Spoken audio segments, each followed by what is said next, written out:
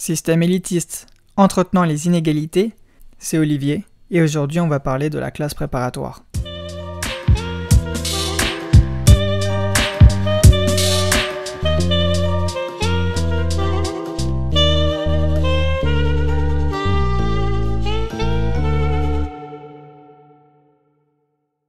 Alors souvent quand on s'intéresse au sujet de la classe préparatoire, on rencontre beaucoup d'articles dans les journaux, dans la presse en général, beaucoup de choses qui s'écrivent dans les réseaux sociaux comme quoi la classe préparatoire serait coûteuse, inégalitaire et peu efficace. À l'entendre, on pourrait croire que les classes préparatoires sont les dernières niches des inégalités dans la République française.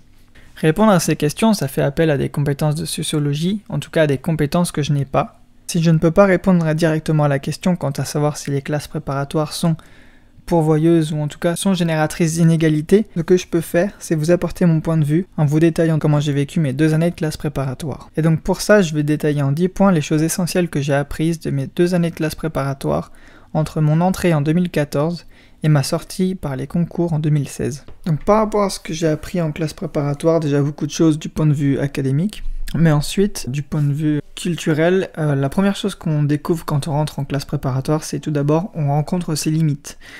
Euh, parce qu'on sort du lycée, en général, on a été parmi les premiers de sa classe. En tout cas, on a, réussi assez brillamment sa scolarité au lycée. On arrive en classe préparatoire, souvent c'est sur dossier, il faut avoir une mention au bac. Euh, je crois qu'à minima c'est une mention euh, assez bien, mais voilà, le plus gros du panier, en général, on arrive en classe préparatoire, on a une mention bien, voire très bien. Notre moyenne au lycée, ça a tourné souvent autour des 15, 14, 18 de moyenne. Et puis donc on, arrive en, classe préparatoire, et puis là on, est confronté à un mur, on se prend une claque parce qu'on pense tout savoir. Et puis dès le premier examen, en fait, on est confronté à notre propre difficulté. Et donc on rencontre vraiment ses limites. C'est là qu'en fait tu t'aperçois qu'il y a vraiment un fossé entre toi et entre certaines personnes. Et il y a certaines personnes qui ont vraiment... La science infuse n'existe pas, mais il y a vraiment des personnes qui ont des facilités, par exemple avec les maths ou avec certaines matières, et c'est vraiment en prépa qu'on rencontre ce genre de personnes. Et c'est vraiment là qu'en comparaison, en, comparant avec ses propres performances, on se rend compte qu'il y a vraiment un fossé, j'allais dire indépassable, mais euh, je ne sais pas si c'est autant déterminé que ça, mais on se rend compte vraiment qu'il y a un fossé entre soi en tout cas et des personnes qui sont vraiment excellentes dans leur domaine. J'ai pas envie de dire que c'est trop tard, mais il y a des personnes qui ont vraiment une intuition au niveau des mathématiques, une intuition au niveau des sciences fondamentales. Il y a certaines personnes qui ont vraiment un talent et et directement, quand on rentre en classe préparatoire, on peut déjà imaginer quelles personnes vont, vont faire leur entrée dans, les écoles les plus prestigieuses. Dès le début, on peut voir qu'il y a certains euh, challengers qui se dessinent et certaines personnes qui, qui vont aller plus loin que d'autres. Et le plus amusant, c'est par exemple quand on est notre premier DS, notre premier devoir sur table qui avait eu lieu le, le samedi de la rentrée. Donc euh, tous les samedis, c'était schéma classique, on avait un DS de 8h à, 8h à midi sur des matières qui alternaient. Donc euh, une semaine, euh, il y avait une semaine c'était maths, ensuite c'était physique, ensuite c'était anglais, et puis après c'était au niveau des maths, ça alternait. Et puis donc le premier DS qu'on a eu en classe préparatoire, c'était un DS, donc un devoir surveillé de mathématiques. Et euh, c'était assez amusant parce que le prof nous avait donné comme sujet le sujet de baccalauréat mathématiques de 98. Et déjà là, on a vraiment vu une différence par rapport à notre niveau. Donc on sort du bac et finalement on se rend compte que eh ben le problème de le, baccalauréat de 98, et eh ben il nous met quand même pas mal en il nous met pas mal euh, il nous met pas mal la pression. Et on se rend compte qu'il y a quand même beaucoup de choses à rattraper, beaucoup de retard par rapport à ça. Vraiment, on trouve ses limites en classe préparatoire, plus généralement. Voilà, on est confronté à ces difficultés, et puis, euh, et puis vraiment, on met le doigt dessus. On se rend compte que, bon, ben, voilà, par exemple en mathématiques, à partir d'un certain niveau, ben, je pourrais aller plus loin beaucoup plus difficilement. C'est-à-dire que ma courbe de progression au niveau de l'apprentissage ben, sera beaucoup plus aplatie, beaucoup plus lente et ça sera beaucoup moins, la progression sera beaucoup moins fulgurante qu'auparavant. La deuxième chose que j'ai appris, c'est euh, euh, de travailler en fait en permanence avec une sorte de culture de l'échec, euh, avec une pression, avec un stress permanent et surtout on est mis constamment en difficulté, on est régulièrement confronté à ses limites, à ses difficultés et on est mis en échec permanent pratiquement. C'est-à-dire que euh, tu passes du lycée où tu avais 18 et puis en prépa tu passes à 3 de moyenne. Il y a même certains lycées, bon, là dans le lycée où j'étais, on ne pratiquait pas ce genre de, politique-là, mais il y a certains lycées qui mettaient des notes négatives. Le plus dur, je pense qu'en prépa, c'est d'être isolé, c'est-à-dire de ne pas pouvoir euh, être logé euh, sur le campus directement, d'être entouré avec ses camarades la semaine, et en plus d'être euh, au niveau de l'éloignement géographique, d'être loin de sa famille, je pense que ça peut jouer énormément sur le moral. Et en plus de ça, il y a la politique permanente de l'échec où on est régulièrement confronté à ces difficultés. La politique en fait de la classe préparatoire, elle est assez simple, c'est euh, de te faire mettre le doigt sur tes limites et puis de te pousser à te dépasser et, d'aller plus loin par rapport à ça. Et c'est vraiment une, politique un petit peu martiale, même si j'exagère beaucoup parce que ça reste très humain et je l'expliquerai après pourquoi. Mais, mais voilà, l'héritage de la classe préparatoire, c'est vraiment à la base, c'était pour à la base la classe préparatoire, elle servait à préparer en fait les nouveaux ingénieurs qui allaient rentrer dans l'armée, qui allaient rentrer dans le génie. Et, euh, je crois même que le premier concours ça a été réalisé par Vauban, euh, l'architecte des forts militaires. Et puis derrière, il y a Napoléon aussi qui a repris, je crois, le principe de classe mathématique, en tout cas de spécialisation en mathématiques, et les premières classes préparatoires étaient des classes scientifiques. Et donc oui, derrière, il y a vraiment un esprit euh, culture du perfectionnement par l'échec. Donc, euh, donc voilà, on te dit tous les jours que tu es nul, et en gros, euh, demain, eh ben, il faudra que tu sois meilleur. Et je veux dire que c'est une politique qui est assez stressante. On voit à travers le monde qu'il y a des, systèmes éducatifs qui mettent beaucoup moins la pression qui sont beaucoup moins exigeants de ce point de vue-là, qui restent beaucoup plus humains, mais bon, enfin, voilà. Le troisième point que j'ai appris, c'est vraiment on apprend à apprendre correctement. Par rapport au premier point, justement, ce qui est intéressant de dénoter, c'est qu'au lycée, on pouvait se contenter de bachoter, d'apprendre par cœur des formules mathématiques. Je pense notamment au programme de, de probabilité qu'on avait eu, en tout cas quand j'ai passé mon baccalauréat, donc c'était en 2014 eh bien, il suffisait d'apprendre par cœur les formules de probabilité. Et euh, il y avait même certaines formules qui étaient données. Et donc, pendant le lycée, on doit apprendre des formules ou des, théories mathématiques en probabilité, probabiliste, qu'on n'arrive pas encore à maîtriser parce qu'on n'a pas encore tout le, recul derrière. Et donc, on est obligé d'apprendre par cœur des, résultats, bachoter. Et, euh, en, classe préparatoire, c'est plus possible. Si tu n'arrives pas à comprendre vraiment le concept en profondeur qui t'est présenté, eh bien, euh, tu vas te ramasser ODS parce que euh, c'est assez simple. En cours, tu vois la théorie, ensuite tu fais des exercices avec le professeur qui sont, euh, disons, 2 sur 10, niveau, niveau 2 sur 10. Après, tu as des cours de TD, donc des travaux dirigés avec un professeur où tu dois refaire des exercices avec lui en classe. La difficulté, elle doit être 4 sur 10. Ensuite, chez toi, il te donne un, un devoir maison à faire chaque semaine, que tu dois faire en plus des autres devoirs. En vue de préparer le DS du samedi, la difficulté elle est 6 sur 10, et puis tu arrives en DS, bah, c'est 8 sur 10, 10 sur 10 la difficulté. Et donc à chaque fois, la difficulté augmente. Progressivement, le but c'est de t'amener à, un niveau de difficulté croissant. Et donc si euh, tes fondations elles sont pas assez solides, bah, tout s'écroule comme un château de cartes. Donc vraiment, faut apprendre à maîtriser et à vraiment comprendre petit à petit ce que tu fais. Et, euh, globalement, en classe préparatoire, tu peux pas il n'y a pas de restitution basique et pure de, connaissances. C'est une, c'est pas une question de savoir si tu sais ou tu ne sais pas. C'est euh, si tu n'apprends pas à réfléchir, en tout cas si le concept tu ne l'as pas compris, il y a des choses qui vont t'échapper. Alors ça peut passer sur un coup de chance si l'exercice n'est pas très exigeant, ou si l'exercice ne te demande pas de restituer intellectuellement ces propriétés qui t'ont échappé.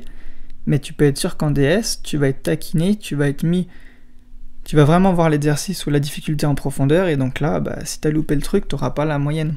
Et donc euh, globalement, vraiment ça t'apprend à apprendre en profondeur, donc euh, au lycée tu faisais qu'apprendre par cœur, et là c'est plus possible, et t'apprends vraiment à aller au bout des choses. Le manque de sommeil, c'était sûrement l'étape la plus difficile. La charge de travail, elle est assez conséquente, donc tu te lèves en général le matin à 7h, puis tu as les cours à 8h.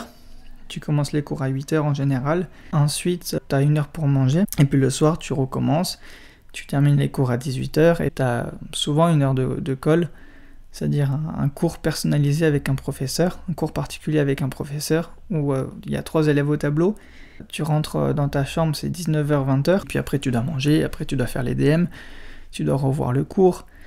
Et en général, tu te couches souvent à 23h, minuit, 1h du matin, et justement, ce qui va commencer à manquer, ça va être le sommeil. Et, euh, et ça, c'est un, cercle assez vicieux parce que si tu as sommeil, tu dois dormir, mais si tu dors, tu n'as pas le temps de revoir le cours de la journée. Et si tu n'as pas le temps de revoir le cours de la journée ou de faire les exercices, tu vas prendre du retard. Du coup, ça va te stresser encore plus parce que, eh ben, pour rattraper ce retard, tu vas devoir travailler encore plus, sauf que le temps n'est pas élastique. Du coup, tu vas devoir te priver encore plus de sommeil. Et puis finalement, bah, tu vas absorber de moins en moins de connaissances pendant la journée. Et donc le soir, ça veut dire que tu vas devoir travailler davantage. Et donc voilà, tu mets le doigt dans un engrenage qui est assez vicieux. Et vraiment, ce qui m'a manqué pendant ces deux ans, c'était le sommeil. J'ai jamais été fatigué comme ça dans ma vie. Je crois vraiment que pendant deux ans, c'était assez. Au niveau du sommeil, c'était vraiment horrible. Le cerveau est résilient, donc on oublie en fait euh, cet aspect difficile. Le cinquième point aussi, c'est un peu complémentaire avec le sommeil, c'est qu'on manque de tout, enfin, c'est-à-dire on manque de temps. Du coup, le sommeil, il passe un petit peu à la trappe, et c'est surtout une erreur. A, priori, avec le recul, je me rends compte que c'était une erreur. Mais il y a aussi surtout le sport qui passe à la trappe. Et je sais pas comment ça se passe dans d'autres lycées, mais dans le mien, en tout cas, on avait la chance d'avoir un campus qui était, qui était dans le sud, qui était euh, proche en fait de la nature. Et donc on pouvait aller faire du sport dans le, dans le parc qui était à côté. Et euh, on avait deux heures de sport réservées dans la semaine. Mais, euh, mais ce qui se passait, c'est que souvent ces deux heures de sport, on les prenait pour, pour réviser. Enfin, comme ça, ça peut sembler ridicule de se dire que dans la semaine, on n'est pas à deux heures près. Mais à l'époque, ces deux heures, ça me semblait quand même assez important. Et donc souvent, ce que, les élèves faisaient, et ce que je faisais, c'était de ne pas aller au sport pour réviser ou pour, faire un DM ou pour terminer quelque chose. Ce qui fait que pendant deux ans aussi, en plus de sommeil, ce qui manquait, c'était l'activité euh, physique. Et, euh, et c'est pour ça d'ailleurs que le surnom des, des classes euh, en classe préparatoire, le surnom, c'est des taupins. Parce qu'on est des taupes, parce qu'on est des intellos, on a des lunettes qu'on reste assis toute la journée dans le noir avec une lampe. Le sixième point, c'est vraiment que en dépit de l'apprentissage que tu peux faire pendant ces deux années, eh bien les concours ça reste quand même de l'aléatoire, dans le sens où euh, ça va dépendre du sujet. En fait, tes, performances au concours, ça va vraiment dépendre de l'affinité que tu as avec le sujet sur lequel tu vas tomber. Moi, je me souviens que la première épreuve de maths, et ça m'a marqué parce que c'était le premier, le premier jour, première heure, où j'ai passé mon premier, mon premier concours. L'examen durait 4 heures le lundi matin. Et, euh, et c'était un sujet que j'aimais pas du tout. C'était euh, des matrices avec des probabilités, si je me rappelle bien. Et, euh, et sur le sujet, je crois bien avoir réussi uniquement à faire la première question. Et, j'étais dans la première rangée, au premier rang. Et je me souviens que l'examinateur qui nous qui vérifie en fait que tout se passe bien dans la salle, quand il a ramassé les copies, il est venu vers moi. Il a récupéré ma pauvre copie double. Et puis il était surpris, il a dit c'est tout.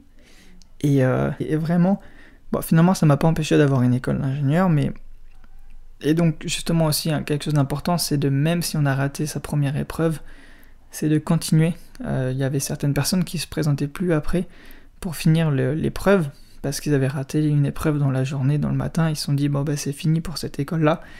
Vraiment, faut persévérer, faut être résilient et continuer. Ça, reste quand même de l'aléatoire, c'est-à-dire que si le sujet tu l'aimes bien, ça va être beaucoup plus facile pour toi. Et donc, euh, si jamais tu tombes sur un sujet que tu n'aimes pas, euh, tu tombes sur les probabilités, ou tu tombes sur euh, un sujet où c'est un peu plus délicat pour toi, bah, ça va mal se passer. En tout cas, ça va pas se passer aussi bien que si jamais tu étais tombé sur ton sujet de prédilection. Et par rapport au concours, du coup, pour rebondir par rapport à ça, L'idée aussi, quelque chose que j'ai appris, c'est que la différence peut vraiment se faire sur des matières comme le français ou l'anglais. Les concours, des fois, ça peut se jouer à quelques centièmes de points, juste pour grappiller quelques places.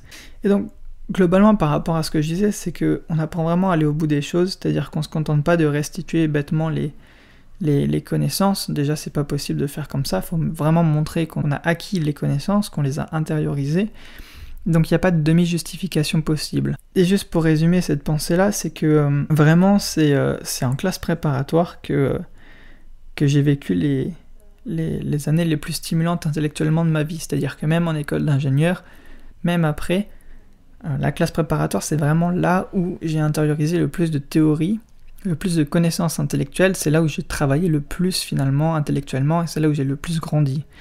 Et la classe préparatoire, ça reste un endroit où on reste encore assez chouchouté. Euh, le milieu, il est encore très académique, on sort du lycée, on est encore sur des rails, on a encore un professeur, on a encore des devoirs, on a encore des choses à faire, des comptes à rendre. Et donc on reste encore assez docile, peut-être pas encore mature, ou autant mature qu'en école d'ingénieur, ou qu'à l'université où on est vraiment livré un petit peu à soi-même, ou en tout cas on a beaucoup plus de liberté dans son apprentissage.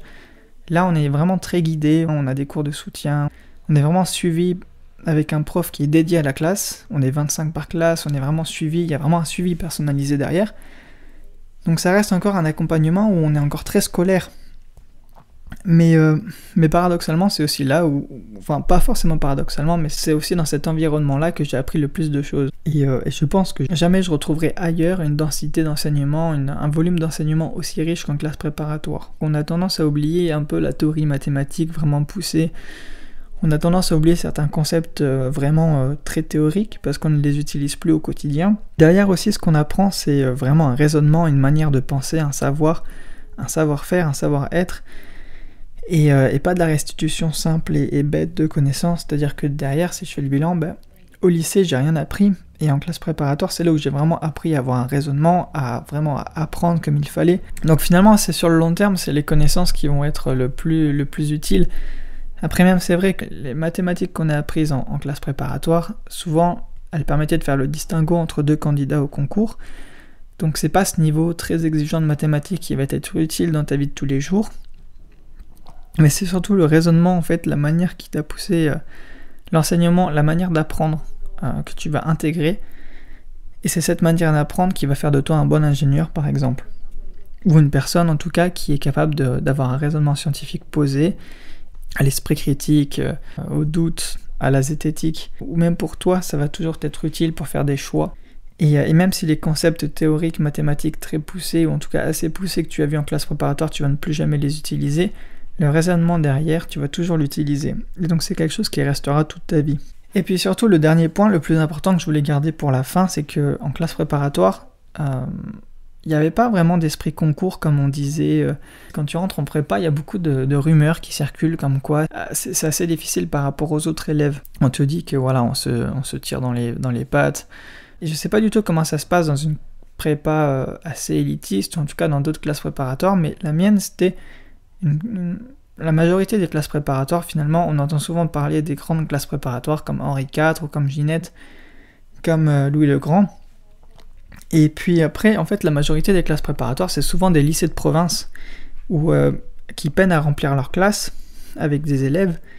Et donc du coup, il n'y a pas la même mentalité, c'est-à-dire c'est moins élitiste, et donc du coup, c'est un peu la porte ouverte à, ceux qui ont quand même des certaines notes, qui ont un certain dossier, mais c'est beaucoup moins exigeant qu'à Henri IV ou à Louis le Grand, et donc du coup, tu gardes quand même une certaine, une certaine cohésion où tu sais que, euh, en fait, à Henri IV ou à Louis le Grand, c'est assez simple, c'est que 80% de la promotion se battent pour aller à Polytechnique. Dans un lycée de province, tu sais qu'il va y avoir euh, une fois tous les 5 ans un élève de ta promotion qui va aller à Polytechnique. Du coup, dans ta classe, tu sais que tu vas pas te battre contre un élève de ta classe parce que euh, tu n'as pas du tout envie de rentrer dans la même école que lui. Du coup, tu ne vas pas te battre contre un camarade, mais tu vas te battre contre les autres classes préparatoires, celles qui visent les mêmes écoles que toi. Et donc du coup, tu n'as pas du tout cet esprit concours entre, avec tes camarades. Et, euh, donc ça permet en fait vraiment d'avoir un, soutien. Je me souviens que nous, on organisait des barbecues sur le toit. Euh, c'était pas forcément autorisé, mais c'était assez, sympa. On pouvait aller faire du sport ensemble, des fois la veille de vacances. L'avantage d'être dans une prépa dans le sud. Il y avait vraiment une solidarité où on pouvait faire nos DM ou nos TD ensemble. Et je me souviens d'une phrase que m'avait dit un pote euh, qui m'est resté en tête. Euh, il m'avait dit quelque chose comme Quand on est le meilleur dans un domaine, on regarde derrière soi et on tire les autres vers le haut. Et on avance ensemble. Et, et c'est vraiment quelque chose qui m'est resté parce que c'est quelque chose qui a été mis en application. En tout cas, voilà, moi, dans l'environnement dans lequel j'étais, j'étais jamais seul. Et, je me suis senti toujours bien accompagné par les professeurs, par des camarades. Il y avait vraiment un esprit bienveillant. Et donc, il n'y avait pas d'esprit concours. C'était euh, finalement une ambiance qui était assez studieuse. Donc, par rapport aux questions sociales, la classe préparatoire, c'est aussi un endroit où j'ai entendu les choses les plus dures. Mais voilà, c'est aussi en classe préparatoire où j'ai vécu les choses les plus stimulantes intellectuellement, les plus enrichissantes humainement, parce qu'on est tous à bout et qu'on avance ensemble.